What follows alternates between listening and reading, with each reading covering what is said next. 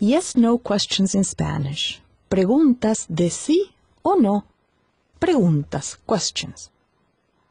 ¿Es inteligente el perro? Is the dog intelligent? Sí, es inteligente. Yeah, it is intelligent. ¿Es grande la casa? No, no es grande. Is the house big? No, it's not big. ¿Es el chocolate delicioso? Notice how I change the terms, how I put the noun el chocolate in the middle as opposed to putting it in the end. I can do that in Spanish. Spanish allows me to put this in the end or in the middle. Let's say it again. ¿Es el chocolate delicioso?